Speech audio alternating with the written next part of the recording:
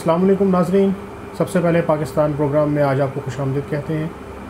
आज के प्रोग्राम में हम डिस्कस करेंगे मौजूदा मुल्क की सूरत हाल जो पिछले दो दिन में क्या तब्दीलियाँ हैं क्या वाक़ रोनुमा हुए स्पेशली पाक फ़ौज के हवाले से और हमारे हसास इदारों के हवाले से जो बयानियाँ पेश किया गया उसके ऊपर हम बात करेंगे। आज आमिर शहबाज हाशमी साहब हमारे साथ मौजूद हैं। तो वेलकम करते हैं सर आप आज के प्रोग्राम बहुत शुक्रिया बहुत शुक्रिया। थैंक यू सबसे पहले बात करेंगे D G C I I S I के अंदर एक शोबा है। इस शोबे की क्या अहमियत है? और इस शोबे के ऊपर इमरान खान साहब ने जो इल्ज़ाम आयद किए हैं, उनकी क्या हकाइक हैं? पस मंज़र क्या है? क्या वजूहत हैं? इसके ऊपर हम बात करना चाहते हैं तो हाशमी साहब से गुजारिश है, ज़रा इस पर बात करें। जी, बहुत शुक्रिया सदीकी साहब। मैं आपका रहनी मेहनत कि आपने बड़े अहम मौजू पर मुझे गुफ्तु का मौका दिया। बहरहाल सबसे पहले तो एक कन्फ्यूज़न हमारे सामीन में ये है कि डी जी आई एस आई तो होते हैं ये D G I S C सी क्या है? जी। तो इसकी वजाहत मैं आपको कर दूँ कि जो सी से मुराद यहाँ काउंटर इंटेलिजेंस है। एक इंटेलिजेंस है डी जी आई एस आई और एक और उसका काउंटर इंटेलिजेंस है जो उसको पैरेलल उसके साथ काम कर रही होती है। ये अहदा बड़ी अहमियत का हामिल है। और ये इंटरनेशनल सिक्योरिटी के हवाले से मुतल शोबा अगरचे है। लेकिन ज़्यादातर ये मुल्क के दाखिली मामला पर और दाखिली सिक्योरिटी के मामला के ऊपर ये उसका जो इंचार्ज होता है वो डी जी आई एस आई सी होता है। और हती के मुल्क के सियासी मामला भी इनके जेरें लगी होती है। जो सियासी विंग होता है, जो आई एस आई का, उसका जो इंचार्ज होता है वो डी जी आई एस आई सी होता है। और बस उसके यूँ समझ लें कि हमने ये देखा कि किसी दौर में आजकल तो ज़रा कम हो गया फ़ौज ने एक बड़ा मस्बत एक रवैया अपना अख्तियार किया जिस पे हम उनके रहीन मिन्नत भी हैं और उनको ट्रिब्यूट पेश करते हैं कि मिसिंग पर्सनस का बड़ा मामला हुआ करता था।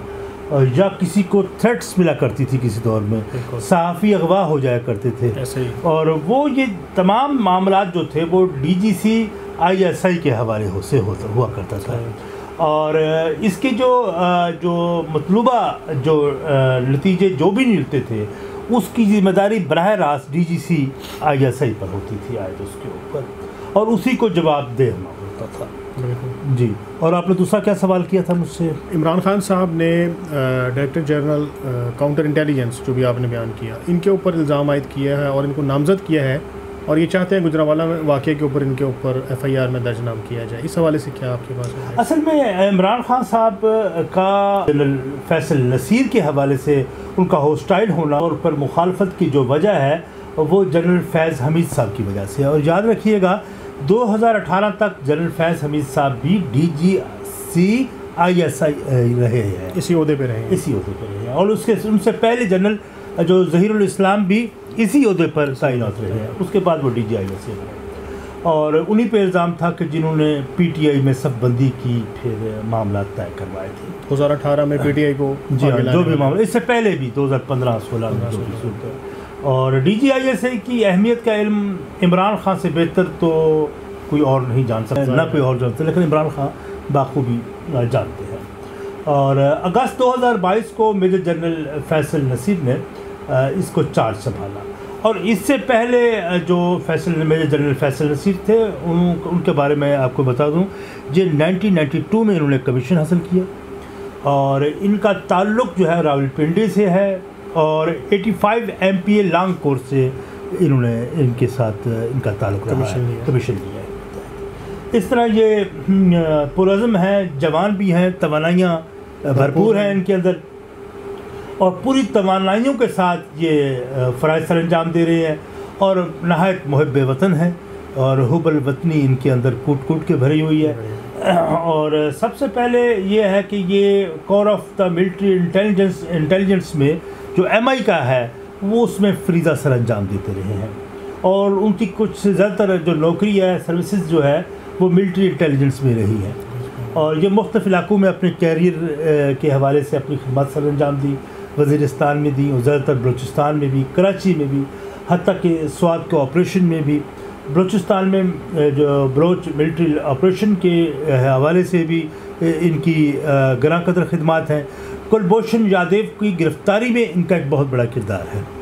और इसलिए मैं ये समझता हूँ कि ये एक बड़े लाभ खा बेरोज़गार आदमी है और इनका chemistry D G I S I के साथ बहुत ज़्यादा मिलती है। क्योंकि ये चाहते हैं कि आई एस आई के इस डिपार्टमेंट को महकमे को मुकम्मल तौर पर गैर सियासी रखा जाए। और इसको वतन दुश्मनों और मुल्क दुश्मनों के ख़िलाफ़ तो हम इस्तेमाल किया जा सकता है लेकिन सियासी मामला पे कम से कम इसको इन्वॉल्व किया जाए। सही और इसकी एक बार जब वो कराची में पोस्टिंग थी इनकी तो इनका आ, कोई मामला क्योंकि दो एजेंसीज होती हैं और इनके अंदर प्रोफेशनल जेलिसी भी होती है। एक तरफ़ आई होती है और दूसरी तरफ़ मिलिट्री इंटेलिजेंस है। और इन्होंने इनके मुतालिक मशहूर है कि इन्होंने कोई एम क्यू एम के लोगों को गिरफ़्तार किया। और इनके मुताबिक ये कहा जाता है कि इस बुनियाद पर जनरल फैज़ हमीद के साथ इनकी अनबन हुई थी। और जनरल फैज़ हमीद चाहते थे कि उनको आप रिलीज़ कर दें हम्म। लेकिन ये उनको इन्वेस्टिगेट करना चाहते थे इंक्वायरी कर रहे थे ये उनको नहीं छोड़ रहे थे उन्होंने कहा ये मेरी डिस्क्रिप्शन है। तो यहाँ से इनके मामला ख़राब के लिए ये बुनियाद बनी। बनी। जो आज तक जारी है। उसके बाद इमरान खान साहब को तो इसके नाम का भी पता नहीं था ये कौन है फैसल? ये जो नाम बताने वाले भी जनरल फैज़ साहब हैं इनको इनके बारे में कि ये साहब जो हैं ये वो है कि जो उनके कान और ये इमरान खान साहब के बारे में जो सबसे बड़ी खराबी है, वो ये ये कानून के बड़े कच्चे हैं। आपने बात कर दी, जो उनके करीब हैं, उनसे बात कर दी, क्योंकि आर अस्करी हवालों से जो कोच है इमरान खान का, वो जनरल फैज़ हमीद है। कोई और नहीं है। वो अस्करी हवालों से, जब फ़ौज के हवाले से, इसलिए तो वो कल भी कह रहे थे इससे पहले भी अक्सर बारहा कहते रहे कि मेरे भी फ़ौज में रबते हैं, मेरे भी फ़ौज में अफसर मौजूद हैं तो वो गलत नहीं कह रहे उनके रबते जनरल फैज़ हमीद साहब की वजह से मौजूद हैं। माजरत आप यहाँ मैं एक सवाल देखिए यहाँ पैदा होता है। जी। अगर हम ये बात करते हैं कि जनरल फैज़ हमीद और जो इदारे हैं जो इदारे के मुख्तलिफ़ डिपार्टमेंट के सरबराहान हैं अगर हम इनको आमने सामने खड़ा कर रही हैं इसका मतलब ये है कि ये एक बयानिया फिर पेश होता है कि फ़ौज में भी धड़ाबंदी है। ये होती रही है। ये हमेशा हो रही है हुई है। फ़ौज के अंदर यूँ नहीं कि महकमों के अंदर इंटेलिजेंस शेयरिंग के ऊपर। मसलन कुछ लोग अगर आई एस आई उसको टास्क पे होते हैं तो कुछ लोग मिलिट्री इंटेलिजेंस की टास्क पे होते हैं। तो इनके अंदर एक प्रोफेशनल जेलसी होती है रकाबत होती है राइवल्स होते हैं ये। सही है। तो इसलिए एक दूसरे के साथ ये इनका प्रोफेशनल जेलसी तो एक अच्छी चीज़ है पॉजिटिव चीज़ है इससे रिज़ल्ट ज़्यादा बेहतर होते हैं रिफाइन होते हैं। लेकिन अगर इस वक्त मौजूदा मुल्क सूरत हाल में जहाँ पे आर्मी चीफ़ का जो इदारा है मैं मैं इस पर भी थोड़ा सा आपसे चाहूँगा ज़रा रोशनी डालिए कि क्या हम army chief general Qamar Javed Bajwa के हवाले से जो एक बयानिया पेश किया जा रहा है कि ये शख्स ना हो तो ऐसे हो जाए ये ना हो तो ऐसे हो जाए। तो ये सवाल ये बनता है बुनियादी तौर पे कि क्या आर्मी चीफ इट्सल्फ एक पर्सनैलिटी का नाम है या एक इदारे का नाम है अदारे का नाम अदारे का नाम है। इससे पहले हमें जो आपने पहला सवाल किया था ना वो ये था कि फैसल नसीर साहब की मुखालफत क्यों हुई थी इमरान खान के साथ? जी। जिसका जो हमारा आपका पहले सवाल का जो फोकस था हमें उसी पर रहना चाहिए पहले तो। फैसल नसीर साहब ने डायरेक्ट एक बात को समझ लिया था, क्योंकि जब वो डी जी सी आई एस आई हुए तो इनकी इन्फॉर्मेशन में बात, इनकी ये बात मालूम इससे पहले वो इंटेलिजेंस ब्यूरो में भी सर्विसेज़ सारी ज़िंदगी इनकी गुजर गई उसी में इनका कैरियर पूरा उसी में गुजरा। तो इन्होंने महसूस किया कि खैबर पख्तूनख्वा की हुकूमत जो पी टी आई के, इनके जो मरासम है, वो तालिबान के साथ है टी टी पी के साथ है। बरिस्टर मोहम्मद अली जो सैफ साहब है तो उन्होंने कहा जो इमरान खान साहब के नाक के बाल है तो उन्होंने कहा कि वो तालिबान से मुजाकर सूबे में अमन व अमान के लिए कर रहे थे। तो इसका मकसद इस बात को तो उन्होंने कन्फेस कर लिया था कि उनके जो मामला हैं वो चल रहे हैं तालिबान के साथ। और फिर यहाँ तक के है कि वहाँ फिर बहुत सी सच्चाइयों से पड़ते फिर चाक होते चले गए। और फिर ये देखा हमने कि बाकायदा स्वाद में वजीरस्तान में मुख्त इलाकों में इनको बिठा दिया आपकी गया बड़ा अहम नुकता आपने हशम साहब उठाया है। अब देखिए यहाँ पर एक सवाल और पैदा हो जाता है कि इमरान खान साहब का एक अभी चंद हफ़्ते पहले बयान आया कि हम चोरों के साथ मुजाकर नहीं कर सकते जबकि हम तालिबान के साथ कर सकते हैं। जी। तो सवाल ये पैदा होता है कि तालिबान पाकिस्तान तहरीक तालिबान पाकिस्तान या तहरीक तालिबान अफ़गानिस्तान और दाइश ये जो भी एक ग्रुपिंग है ये सारा डेफिनेटली एक सही जनरेटेड प्रोग्राम है। लेकिन इनके साथ मुजाकरात करने का मतलब तो ये है कि आप कातिलों से मुजाकरात कर रहे हैं। ये ऐसी है जिन्होंने अस्सी हज़ार पाकिस्तानी कीमती जाने ज़ाया की। हैं। एपीएस है आर्मी क्या- पब्लिक स्कूल में जो कुछ हुआ जो सौ बच्चे जमा कर दिए गए बिल्कुल, और भी बहुत से मामला हैं। तो क्या चोर जो है वो बड़ा मुजरिम है या कातिल बड़ा मुजरिम? है? अब यहाँ पे एक और भी बड़ा अहम इशू है हाशमी साहब वो ये कि पाकिस्तान तहरीक इंसाफ के के पी से रहनुमा और सीनियर मरकज़ी रहनुमा आज़म खान सवाती साहब ने एक प्रेस कॉन्फ्रेंस की है। जी। तो इस प्रेस कॉन्फ्रेंस का क्या बैकग्राउंड है? कि डैडी ये किसी और की नहीं है।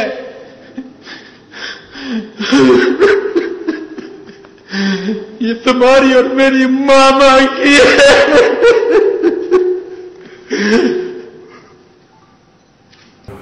आज आज़म सवाती साहब ने तो बड़े रोते हुए प्रेस कॉन्फ्रेंस की और बाकायदा वो रो पड़े कि उसकी बीवी और उसके साथ उनका जिनसी फेर की वीडियो लीक की गई जो कुछ कोयटे में कुछ दिन पहले उनकी रिहाइश का इंतज़ाम। इसका वैसे तो बहसीत सहाफ़ी हम इसका शदीद मजम्मत करते हैं जी। जी। और ऐसे वाक़ात जो हैं रोनुमा होना पाकिस्तान में या किसी के भी हवाले से किसी। की घरेलू कोई इस तरह की ज़ाती जी हाँ, उन्होंने कहा कि कुछ दिन अरसा पहले रिहाइश का इंतज़ाम सेनेट के चेयरमैन सेनेट सादक संजरानी साहब ने जुडिशल लॉजिस कोयटे में किया था। और और वहाँ उन्होंने कहा, तुम तो सादक संजरानी को मुखातब होकर उन्होंने कहा कि तुम तो मेरी बीवी को चची कहते हो, आंटी कहते हो और मुझे अंकल कहते हो। तो मैं तुम तुम एक ख़ानदानी बलोच हो तो मैं यकीन कर सक- कर सकता हूँ तुमने तो ऐसी हरकत नहीं की होगी। लेकिन उनका इशारे कनाइयों से वो जो बात वो कर रहे थे, वो उन फौज की तरफ़ ही, उन खुफिया की तरफ़ उनका इशारा था। इशारे कनाइयों से उसी को, लेकिन ये बेसिकली जो कुछ भी हुआ तो अब हमने तो वीडियो नहीं देखी ना किसी ने वीडियो देखी बकौल उनके उनकी बेटी ने देखी उनकी बेटी को भेजी गई वो वीडियो भेजी गई। किसने भेजी? अब और ये यही वो बात है जिसका इजहार बहुत अर्सा पहले दो साल पहले सेनेटर मुर्शादुल्ला मरहूम ने जो मुस्लिम लीग के सेनेटर थे उन्होंने की थी आप जरा सुन लें कि क्या कहा। तो हमें जेलों के धमकियाँ देते हो? डालो जेलों में। जिस मर्ज़ी को डालना डालो। लेकिन मुझे आपके आँसू अभी से नज़र आ रहे हैं, जिस दिन आपको जेल में जाना पड़ा। आपने रोना है और आपके आँसू पोसने वाला कोई नहीं होगा फिर। हम में से ही होगा, मैं हूँगा इंशाल्लाह। ये परवेज होगा, ये रजा रब्बानी होगा। ये ऐसे लोग मार खाए हुए लोग किसी को तकलीफ़ नहीं देते। मार खाए हुए लोग कभी किसी को तकलीफ़ नहीं देते, उनका काम ही आँसू पोछना है। वो आँसू निकालते नहीं है। ये सारे आँसू पोछने वाले लोग यहाँ पे बैठे हुए अभी देखना तमाशा क्या लगता है तुम्हारे साथ। तुम्हें अंदाज़ा ही नहीं आओ ये मशाजुल्ला साहब ने आज से बहुत पर दूर रस निगाहें हैं उन लोगों की वो भाप चुके थे कि जिनके हाथों में तुम लोग खेल रहे हो और अपनी ही सियासी कुवतों के साथ सियासी जमातों के साथ सियासी लोगों के साथ तो उसका नतीजा यही होना था। सूरत हाल बन रही है इस वक्त। मुख्तलिफ़ जगह मुख्तलिफ़ सीन जो है वो सामने आ रहे हैं। तो इमरान खान साहब या पीटीआई? इसका मुस्तकबिल क्या है? और असद उमर साहब ने जो कल प्रेस कॉन्फ्रेंस की उसके हवाले से जो मामला रहे पस पर्दा जी। उनके ऊपर थोड़ी सी रोशनी डालें। दूसरे लोग मौजूद थे शौकत खान मेमोरियल हॉस्पिटल में। तो अस वहाँ इमरान खान ने डिक्टेशन दी और ये कहा कि असद उमर को कहा कि आपने ये ये ये जाकर बात करनी है और बरह रास्त Faisal general major general Faisal Naseer का नाम लेना आपने। अब असद उमर ने को समझ है, वो बेवकूफ़ आदमी नहीं है जनरल उमर का बेटा है और उसको पता है कि मैंने अपनी खाल कैसे बचानी है। तो वो जब प्रेस कॉन्फ्रेंस की तो वो अंदर बैठा इमरान खान साहब भी सुन रहे थे। तो उन्होंने कहा कि जी, मैं, ये इमरान खान साहब ने ये बात कही, इमरान खान साहब ने ये बात कही, इमरान खान साहब ने ये बात की। अब ये जो वो बात कर रहे थे, जब वो अंदर गए सुनाए तो उसके बाद इमरान खान साहब से बड़ी डांट पड़ी उनको कि तुमने मेरा बेड़ा गर्क कर दिया। तुमने तो बयाने की ऐसी की तैसी फेर दी। उनका ख्याल था कि ये ये जो फ़ौज को क्रिटिसाइज़ करना था, वो अपने तरफ़ से तुमने ये बात करनी थी, ना कि मेरा नाम अपने लेना था। तो ये तो उनको डांट पड़ गई इस अंदाज से। और दूसरी तरफ़ आप ये कह रहे हैं कि इमरान खान का मुस्तबिल तो इमरान खान की गिरफ्तारी का फ़ैसला अब दोस्त हो चुका है। और जो इसी माह में शायद मुमकिन है। जैसे वो हॉस्पिटल से, अभी आज तो वो चले गए हैं मेरे ख्याल में वो अपने घर पहुँच गए हैं। लेकिन इमरान खान एक खौफनाक गर्दाब में फंस चुके हैं। ऐसा खौफनाक गर्दाब जिसमें इंसान के रोंगटे खड़े कर देने वाले वो जहाँ इंसान के पाँव लर्जा होते हैं। और इनको अब वो बुरे ख्वाब भी आने शुरू हो गए हैं। दर्जनों मुकदमा पहले दर्ज हैं, और फिर बहुत से मुल्क मुकदमा मुल्क दुश्मनी पर अब उस तब जो है वो भी अब दर्ज होने वाले हैं।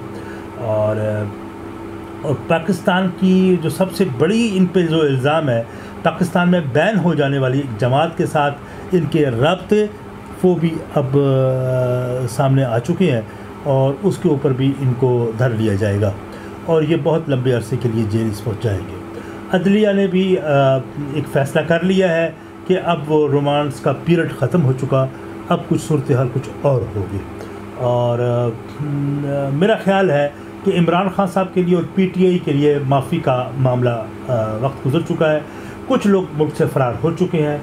कुछ लोगों ने पस पर्दा अपने रबते बहाल कर लिए हैं, जिसमें शाह महमूद कुरैशी साहब हैं और बहुत से कुछ लोग हैं जिन्होंने फ़ौज के साथ माफ़ी तलाफ़ियों का सिलसिला शुरू कर दिया अब और अपने रबते शुरू कर दिए हैं ताकि उनकी पर ना जल जाए इसी आशकी में। तो वो ये समझ रहे हैं कि उनको बचा लिया जाए। तो बहरहाल इनके के साथ अब शायद नरमी और दरगुजर का मामला नहीं किया जाएगा। और इमरान खां के लिए आने वाला वक्त भयानक ख्वाब से कम ना होगा। जी। तो इस सारे तजिए के बाद अब हमें ये बात भी अपने कायरीन के सामने रखनी चाहिए, व्यूअर्स के सामने कि एक मुहब वतन पाकिस्तानी शहरी वो ख्वा एक आम मज़दूर है या किसी प्राइवेट या गवर्नमेंट इदारे में कोई ऑफिसर है। तो इनके लिए क्या क्राइटेरिया होना चाहिए?